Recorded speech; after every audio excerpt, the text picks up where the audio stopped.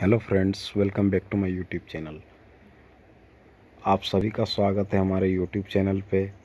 तो आज मैं फिर लाया हूँ आपके लिए ऐसे वर्ड जो नाम और शब्द दोनों ही है। तो आज का जो हमारा वर्ड है, वो है राजा।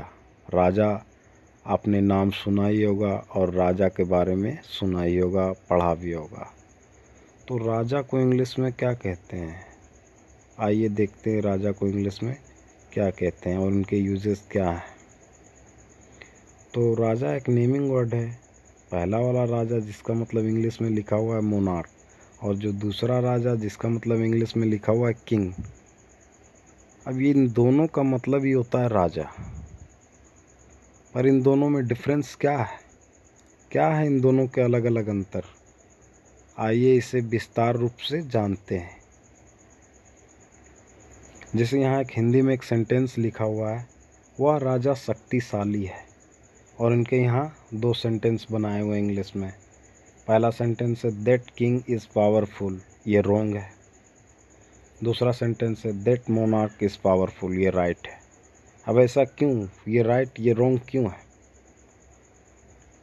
तो मैं आपको बता देना चाहता हूँ कि अगर किसी बात को लेकर अगर राजा हो या उसी किच, किसी बात को लेकर ज़िक्र करें कि वो राजा शक्तिशाली है, ये राजा शक्तिशाली है या वहाँ के जो राजा थे, वो बहुत शक्तिशाली थे।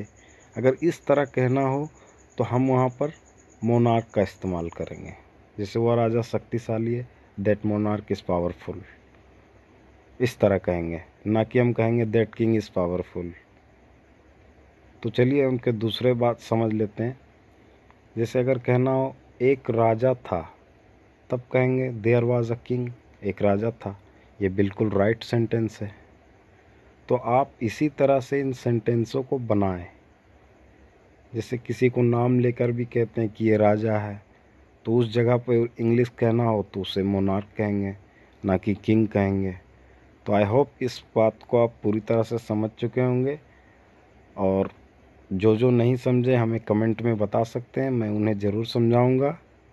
और ये वीडियो पसंद आया तो वीडियो को लाइक करें कमेंट करें, अपने दोस्तों के साथ शेयर करें। और आप हमारे चैनल पे नए हैं तो हमारे चैनल को सब्सक्राइब कर लें। अब बेल आइकन को प्रेस कर दें ताकि हमारी एक भी वीडियो आपसे मिस ना हो।